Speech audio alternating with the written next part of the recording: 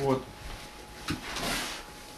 Так что тоже, что, что именно, чтобы э, владыку Иоанна показалось, что Господь судил, что вы в разное время с ним жили, но вы как-то, мне кажется, очень смогли его почувствовать. И вот э, как раз э, у меня впечатление было, читая письма современников, как-то его какие-то, может быть, документы, указы, что у него так было, что э, все делается по именно какому-то порядку, и никто, в общем, никуда не уходит, все на палубе, так сказать, началась служба, и вот корабль не причалил, никто никуда ничего не может отойти там до того времени, которое он назначил. Это создает такое впечатление, что такой регламентации, жесткости такой, что монархист как бы по взглядам, то есть если как бы ты, допустим, Э, как бы не обязательно так смотришь на вещи, как он, тоже может быть какая-то, в общем-то, проблема. Вот у меня вот такой образ как-то,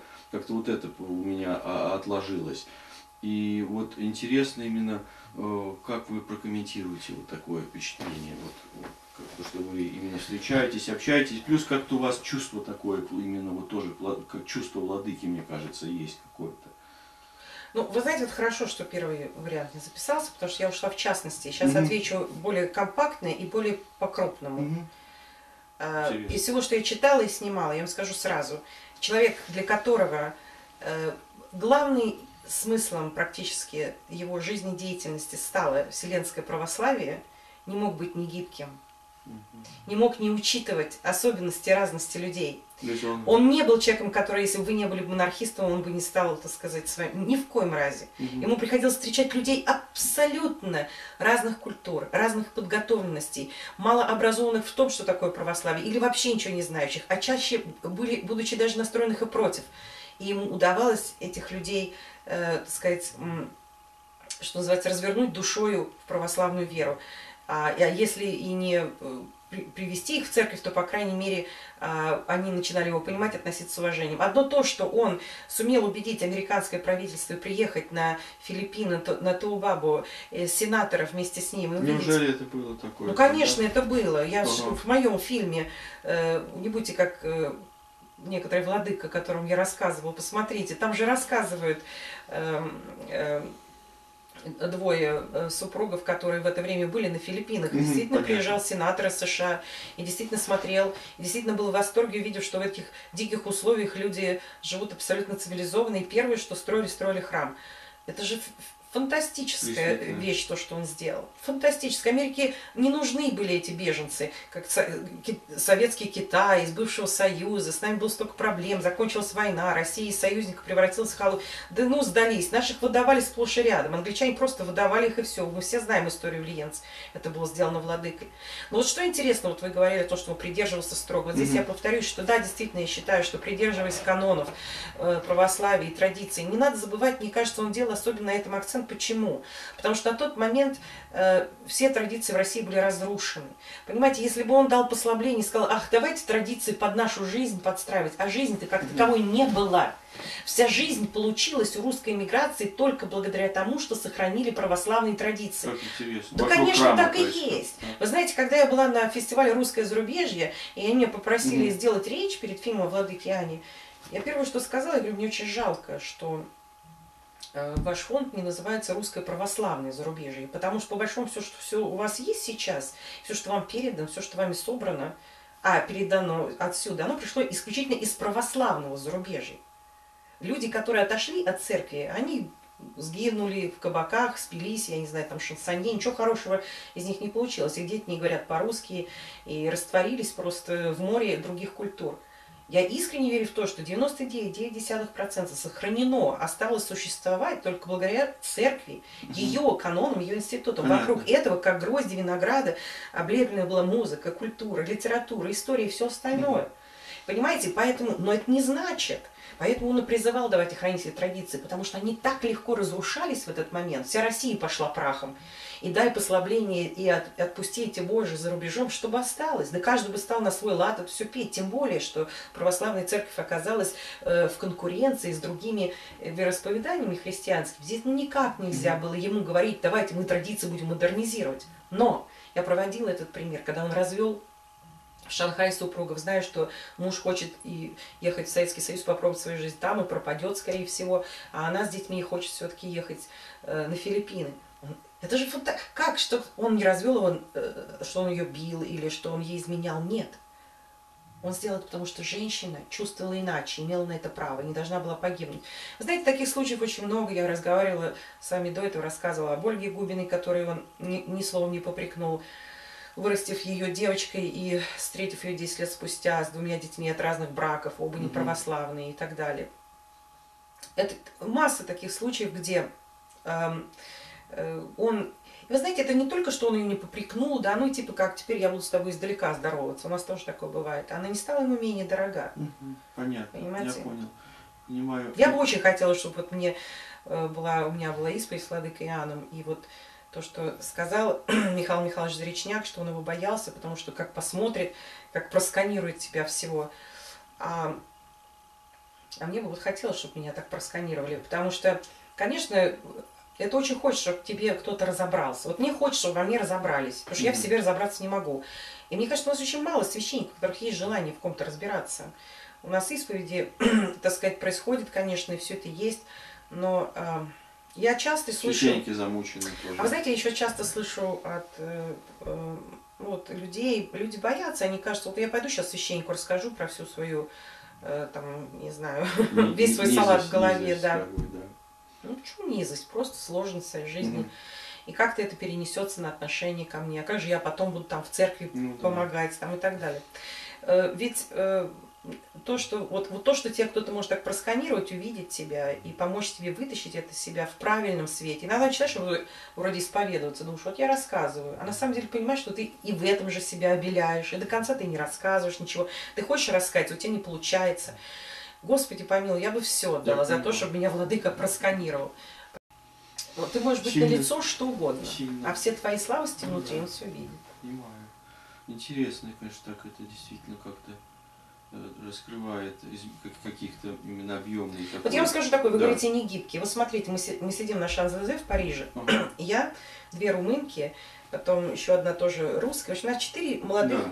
тетки сидим в кафе пьем кофе, собираемся на съемки, еще там к одной этой э, даме, э, матушке Адили. И мы до хрипоты каждый рассказываем, кто что Владыке читал, кто куда ездил, кто куда собирается. Я сказала, вот какая удивительная вещь, что Владыка Иоанн делает. Сидят четыре молодых женщины, говорят не о вещах, не о мужиках, не о еще каких-то глупостях, а, а, а мы делимся потрясающими историями, связанными с Владыкой Иоанном. Вы знаете, ну это нельзя в людей вдохнуть. Ну, может, можно сказать 85-летней женщине, ну вот ты плачешь о Владыке Иоанне, потому что молодость твоя связана, все хорошее у тебя прошло, а теперь ты вспоминаешь, потому что он для тебя символизирует там голодные годы, когда он тебя спасал. Но когда сидят четыре молодые женщины и пьют капучино в Париже, и они там не пять минут, а мы сидим два часа, не можем наговориться, но здесь никак нельзя притвориться, что это какой-то, понимаете, как, что владыка, да, он аскет по отношению к себе, но когда ты смотришь, как владыка строил, угу. какие храмы владыка строил, он храмы строил, не церкви, храмы. А когда ты смотришь, как он благоустраивал своих сестер, какую обитель он нашел в Париже для лестницкой обители.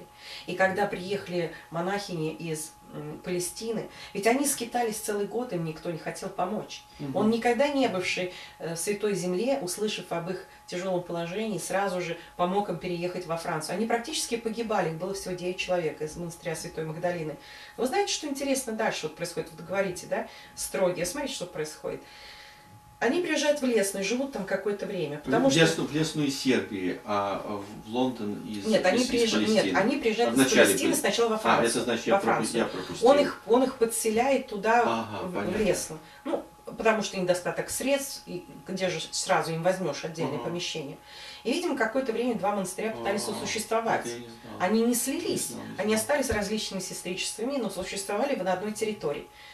И, скажем так, в свои 95 лет палестинские милейшие э, сестры э, упустили подробности того, что там не получалось, они просто сказали, что не складывалось.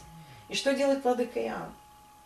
У него масса забот, у него масса дел. Он мог бы сказать, ну, ребята, я вас спас, вы там вообще, э, знаете, в шелтере жили, а теперь вас не устраивает здесь православный монастырь. Нет, он говорит, здесь вы пропадете, не получится у вас. Я буду искать вам свое место. Он все понимал. Он же им не сказал, что это вы жиру беситесь. Вы что, не помните, как вы в шее кормили там несколько месяцев назад, да? Вот радовались, что вам тут не устраивает. Вот вам храм православный. Вот тут все. Нет, он все понял.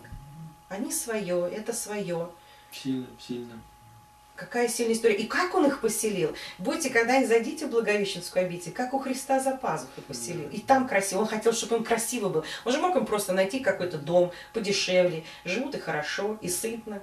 Нет, красиво. А вот тоже, Маша, вот вы как раз предприняли экспедицию в Европу. Вот это все вот оттуда. как Какой раз заботливый вы- был человек. Вы понимаете, какой заботливый. Вот чего нам так не хватает. Ведь забота это же не какой-то формальный. Я галочку Ну да. поставил. Что ты хочешь? Тебе жрать нечего, на поешь. Понимаете, тебе спать негде, на приляг. Заботливый. Он пытался понять, кому что надо. жил А это. каждому нужно разное. И, и в этом была... А как деньги он давал? Ведь он же пришел, он же не с барского плеча, вот вы тут э, московская патриархия, а я вижу, вы молитесь хорошо.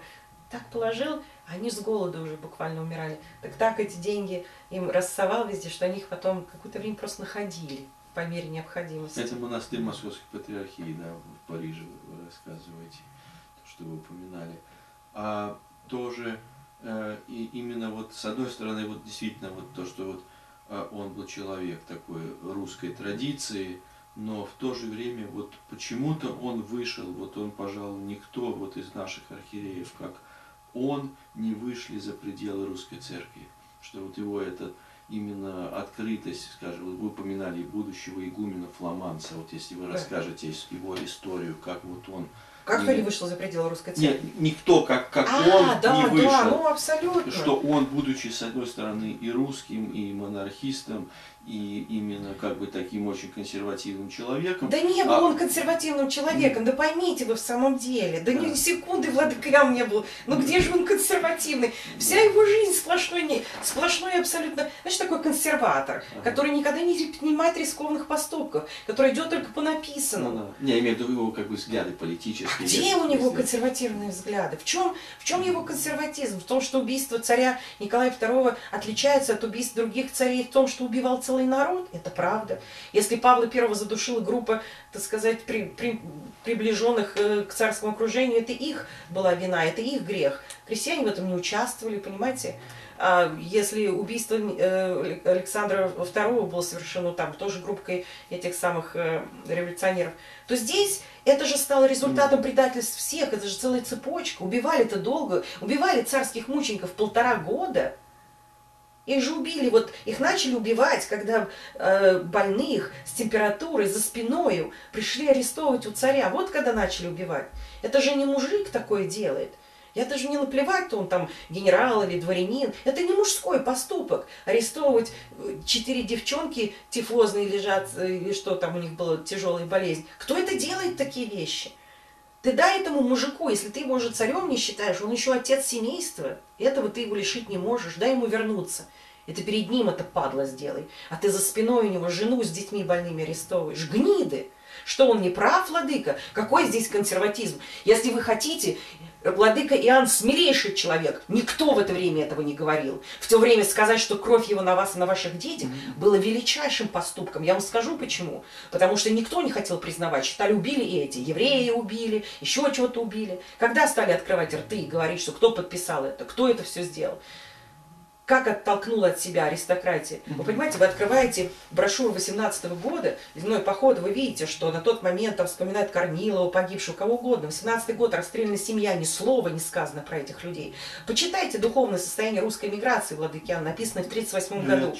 Какая показательная вещь, я в моем фильме отец Сергей Аверт зачитывает э, дебаты после выступления Владыки Иоанна. Никто его не поддержал. Никто его не поддержал. Даже владыка Антоний сказал, ну здесь вот владыка, он тогда еще был не владыка, он сказал, что здесь брат Иоанн замахнулся, что-то он очень, или, так сказать, слишком резко высказался, понимаете. Многие считали, что это незаслуженно, он так высказывается о русской миграции. На сегодняшний день очень многие не любят до сих пор этот доклад. Вы знаете почему? Потому что все правда. И потому что многое так и осталось. Понимаете? А там, где он пишет о том, что э, да, э, отдаем должное тем э, кто, уехав и приняв на себя все трудности этого пути, не погнушался работать разнорабочими, принял на себя, так сказать, все это вычищение нам идет. Но есть среди нас и такие, их немало, которые, так сказать, живут неплохо, вывезли достаточный капитал, отказываются помогать своим соотечественникам. А как часто я вижу в фильмах о владыке, вот берется вот начало этого, все остальное куда-то пускается, понимаете, куда оно подевалось, почему же не закончено. Понимаете, как сказал один мой знакомый, почитать, но не читать, беда нашего времени. Как удобно взять и вырвать кусок. А ты дочитай до конца, да. что он говорил. И его слова, что мы можем быть стерты с лица земли. Интересно. Они в, в моем фильме, и вот это же страшное предсказание, что если мы будем продолжать жить без покаяний, не видеть тех ошибок, которые мы совершили, не покаявшись за то, что случилось с Россией, мы будем стерты с лица земли. И он не, это же слова сказаны к русской зарубежной церкви. Хотя, на мой взгляд, они имеют отношение и, и к русским в России, но у меня часто бывали такие ситуации, когда я разговариваю с кем-то из белой миграции, я помню, и мне говорят, да, им надо всем там каяться. Я говорю, да кому? Ну как вот мы ездили в бывший Советский Союз, он говорит, вы каяться должны. Я говорю, подожди, а к вам это не имеет отношения? Нет. А почему? И у нас была в Советском Союзе придумана такая замечательная фраза, потому что нам тогда из э, железного занавеса все здесь казалось голубым и белым. И когда мы говорили, лучшие люди выехали, я ненавижу эту фразу. Что значит лучшие люди выехали? А что осталось-то, получается, худшие, что ли? Да, Почему мы есть, сами так про себя есть, говорим? Это, это как бы есть тоже такая... такая и это такое, да. на самом... Вы знаете... Что все хороших да. или убили, или они уехали, а как бы те, которые да. остались потомки, только тех, которые были приспособляться да. Мне понадобилось первые э, 8 лет, я купалась в эйфории от белой миграции, угу. и, э, и это оправдано оправдано, потому что я открыла для себя новую историю, которой в Советском Союзе не было. А потом мне понадобилось, понадобилось еще пять лет последних для того, чтобы понять, что, к сожалению, своего рода идеология, она по обе стороны баррикад существует. Mm-hmm. И истинная история того, что произошло после 17 года, да, или даже начиная, так сказать, с начала века, вот именно в Первую мировую войну и все, что касается э, предательства царя, и далее и все с этим лежит посередине. Что по большому счету и, и белая идеология существует, и тут тоже история по-своему скроена, так как она удобна и приемлема, понимаете? Да, безумно. Но не все упаковывается в формат э, скаутских лагерей, понимаете? И надо, как у владыки Анна, у него есть это письмо Рейнеру, где он отвечает на вот, нападки, связанные с тем, что, с белым движением, и он замечательно пишет одним абзацем, что да, действительно, давайте не будем оскорблять памяти тех, кто готов был пожертвовать своими жизнями, и отдадим им уважение, тем более, что такие были. А еще не будем оскорблять тех, кто является их родственниками, остались живых. Но, и дальше вот после этого но еще идет три страницы, на которых он действительно говорит, и он это сказал, что он уважает, э, понимаете, все. Но он же пишет совершенно напрямую. Вот вы говорите, он консерватор. Ну какой же консерватор, когда человек идет против течения без конца? Вы знаете, на мой взгляд, Владыка Иоанн, вот то, что меня, помимо того, вы знаете, в нашей жизни встретить человека доброго и деятельного, это просто невозможно. У нас много деятельных, и они очень злые, у нас много добрых, но не бездеятельные. Вот сплав и того, и другого колоссальный mm-hmm. совершенно, понимаете, колоссальный. И когда читаешь про Владыку Иоанна и понимаешь, какой это был деятельный человек, и какой это был добрый человек, в ущерб себе очень часто, и думаешь, какое счастье было живущим, когда они были в его э, время, современники, скольких людей он в буквальном смысле слова физически спас жизнь. А сколько детей остались живы благодаря ему, это пересчитать, наверное, никто не сможет, никогда этим не займется. Поэтому для меня Владыка Иоанн абсолютно не консерватор, человек, который все время идет поперек ситуации, если, так, если то необходимо. В данном случае он э, не, не, не какой-то благостностью, э, миролюбивый. Конечно, миролюбивый. Он все время был настроен на то, что людей сблизить, людей примирить, найти общий язык. Но когда встал вопрос ребром, и нужно было сказать как есть, перечитайте любую статью Владыки, любую речь. Без обиняков он называет вещи своими именами, и все и правильно делает. То, что он не шел на компромиссы ни с самим собой, ни с ситуацией. Интересное воспоминание одного человека, который пишет, что когда они приехали в Вашингтон, было устроено несколько встреч, на которых владыка должен был вот ратовать за тех, кто остался на Филиппинах. И он все время задерживался, как этот молодой человек пишет, э, молился. И тот его ждал. Я говорю, владыка, видите, вот мы уже полчаса как должны быть там. Ну, послушай, ну, у этого человека э, прошло после смерти владыки 20 лет для того, чтобы повзрослеть, помудреть, осознать. Ему-то казалось, что они опаздывают на этот important appointment, понимаете, что там этот чиновник. А он с Богом разговаривал, понимаете? Не потому, что он считал себя важнее, он понимал, что вот сейчас он договаривается здесь, что все, что произойдет в эти 4.30, а возможно не в 4.30, а в 5, оно вот здесь сейчас решается, а совсем не там. Но люди, которые жили в одно время с ним, своей этой дальновидностью не обладали. И, и, и очень мало людей, которые способны искренне радоваться, преклоняться перед тем, что им непонятно. Как правило, непонятное и более великое, чем, чем ты, в людях вызывает раздражение, ненависть, желание, так сказать, разобрать это по кускам, раз, рассмотреть. Если это непонятно, то не любить это, понимаете? Это проще. У мудрых потом, за какое-то время, я не поняли, чем он занимался. Он молился молился, потому что та э, походе молитва наша такая вот, которую многие из нас делают, пришли там что-то туда-сюда, безрезультатная, это наша. А его молитва была всегда с результатом. Ну, вымаливал, да. От которой получала пользу потом. Вы знаете, до сих пор мы от нее пользу получаем. И вот эти полчаса, которым казалось, он теряет, он на самом деле договаривался с Господом Богом. То, как только он один умел это делать. Вот меня тоже поразила эта история который вам рассказал э, православный настоятель монастыря в Бельгии о том, как произошла его первая встреча с владыкой Яном. Могли бы ее рассказать? Да, ну вот тоже, вот, пожалуйста, говоря о том, что он был, э, так сказать, консерватор, еще что-то. Я говорю, человек, который замкнутый, который абсолютно угу. зашоренный в своих представлениях, не станет таким близким и понятным людям совершенно различных культур. Вы знаете, это он же не, не Сталин, не Ленин, не имел поблизости такой, нигде не выступал по телевизору. Знаете, о нем узнавали просто доброе имя нельзя состряпать, вы знаете. И вот э, оказавшись на вокзале в Бельгии, он был мальчиком 12 лет, из их семьи уходил его папа к другой женщине, мама оставалась э, одна с детьми, была очень депрессивная ситуация. Он буквально говорит, что я был в депрессии в этот день, и вышел э, на вокзал и увидел на станции маленького э, такого небольшого священника, который общался с молодежью. И, в общем, недолгое время он постоял на это, посмотрел, в это время владыка на него взглянул. И он сказал, что от этого взгляда ему стало очень тепло внутри, и было ощущение, что все пройдет, все будет хорошо. У них не было ни возможности ни поговорить, ничего. И так как он говорит, я всегда чувствовал какой-то голос, внутренний зов э, э, Божий, то он пошел учиться в семинарию католическую, которую закончил и, и, и стал монахом в католическом монастыре. И Господь привел его в Голландии, сейчас я не помню, на камере у меня записано, в один из монастырей греческих, где он увидел икону, портрет Ладыкиана, который, э, по-моему, даже еще не был прославлен, mm-hmm. но они уже ему молились в то время, потому что это было незадолго mm-hmm. после его смерти. И там он узнал лицо владыки спустя столько лет. Он говорит, я никогда не забывал этих глаз.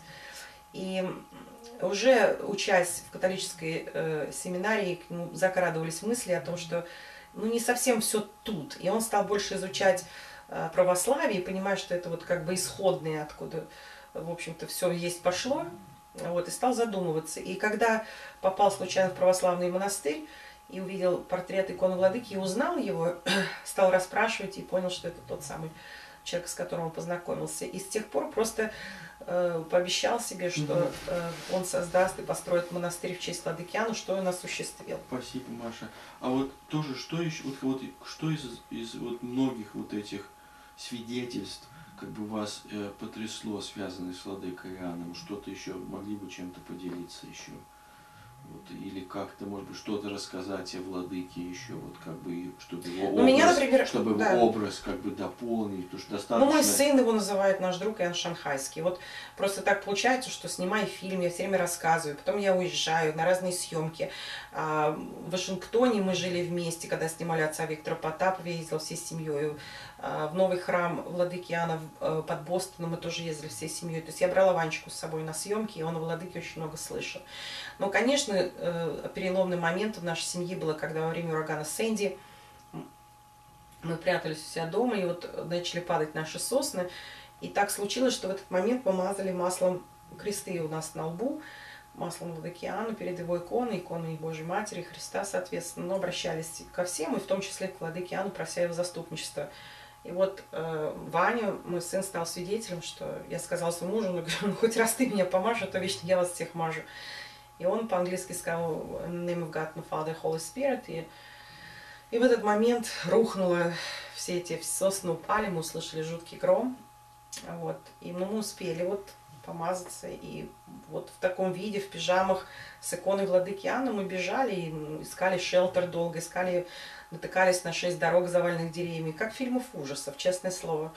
И Ваня навсегда из этого вынес, что Владыка нас спас. Конечно, и Господь Бог, но поскольку, знаете, Христос – это что-то такое великое, такое, с одной стороны, почувствовать Бога очень близко. Бывают такие секунды, но они как-то их прям хочется ухватить, но это очень особенные mm-hmm. моменты. А Владыка, может быть, я так тупо скажу, примитивно, как человек необразованный, Владыка помогает представить Господа Бога. Вы понимаете? Он помогает Его любовь понять, и... что это все реально. Вот это настолько ее делает для нас, не закончивших семинарий, вдруг очень доходчивым, понятным, домашним думаю, и очень у не душевным.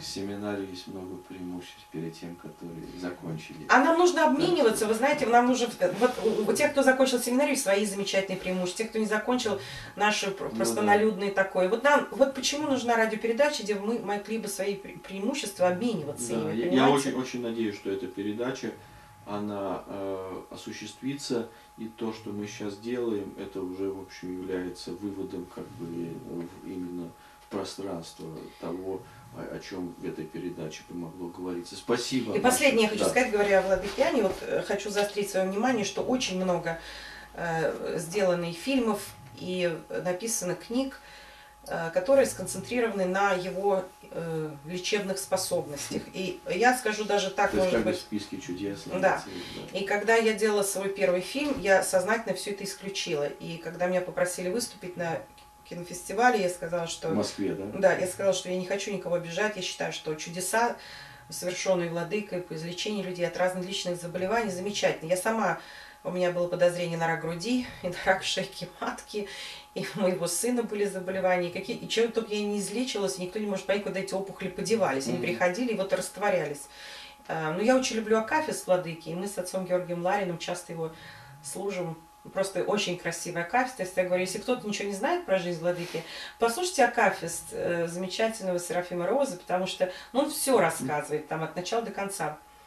Ну, к чему я все это говорю? Вот мне бывает просто обидно. А, мне бывает очень обидно, особенно когда вышел фильм на канале Культуры, в сериале «Старцы» появляется Нахапетов, достает фотографии Владыки Анны, который у него в кармане, или икону, уж не помню, и говорит о том, что вот, вот это вот чудесный человек. Вот мне сценарий надо было ставить в Голливуде.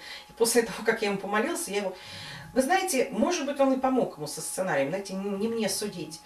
Но я сказала такую вещь, позвонив вот э, там знакомому своему, сказала, вы знаете, вот, что опасно в нашей жизни? Газета, где мелькают постоянные там целительницы, у нас там по статистике 800 божьих матерей в России там разгуливает, всяких мессий. Вот э, для умных людей вообще непонятно про что это, а для тех, кто уже и так одурачили, я говорю, ага, значит, надо записать, теперь к владыке Шахайского можно обращаться, значит, где там можно пойти заплатить, чтобы он мне там кто-то починил, это полечил. Нельзя сводить силу и могущество удивительного духовного человека, который способен изменить не просто душу твою, а всю твою жизнь, к тому, что он может для тебя поделать. Понимаете, к народному целителю знахарке этакому. Почему мне понравилась последняя книга, э, составленная отцом Петром Перекрестовым? Потому что она в, пер, в первую очередь там шла биография жития владыки, что очень важно. Прочтите о нем Потому сначала. что он составлен православным французом. Да, да. И, и, и тем не менее, вот видите, он потратил на это время. Бернард потому что наконец-то кому-то пришло в голову, что достаточно упиваться тем, кто чему друг смог себе полечить, понимаете? А давайте мы начнем наконец-то изучать, а ради чего этот человек жил. Угу. Он лечил нас для того, чтобы мы поняли, какая бесконечная сила Господа Бога. Он же не своей силой ты лечил. Спасибо. Для чего ходил Христос и, э, понимаете, слепые прозревали? Ну, конечно, хорошо, если он теперь видит, но это не, не, я не думаю, что для этого было сделано. Просто чтобы неверующий Фома увидел, что такое возможно. Понимаете? И если он это может, представь, что он еще может сделать. И вот когда-то мне сказала такую потрясающую фразу сестра Рахиль. Она говорит, какое самое великое чудо у Бога? Я говорю, наверное, когда человек рождается. Она сказала, нет, когда человек меняется. Вот Владыка Иоанн обладал этой мощью, он менял людей. Я знаю тех, кто когда никогда его не встречали при жизни, изменили свою жизнь, изменили себя и стали жить по-другому, познакомившись с духом Владыки Иоанна посмертно. И мне хочется делать именно об этом его влияние, Очень- очень понимаете? понятно. Потому Очень что все понятно. физические излечения, язв, почек и других мест и тел, это хорошо, но это второстепенно. Спасибо, Маша. Я очень Понимаете? желаю, желаю успеха, чтобы ваш фильм именно был закончен. И очень рад, что вы вот так это видите. Так А владыка действительно людей собирает. Он, он действительно обладает такой Да. миролюбивой. Да, это, это, Миротворец это, он. это именно, именно, именно вот то, что вы рассказали, что люди, которые именно у- не признали нашего соединения с Москвой, и при этом они принимали вас, как будто вас послал Иоанн. Именно что Иоанн вас связывал, и они оказали вам любовь, гостеприимство, скажем, в Париже, те, кто э, именно не находится в общении с нашей церковью, потому что это тоже сильный такой момент, что все они вас сердечно принимали, радушно и очень помогли. Здорово. Спасибо. Спасибо вам большое.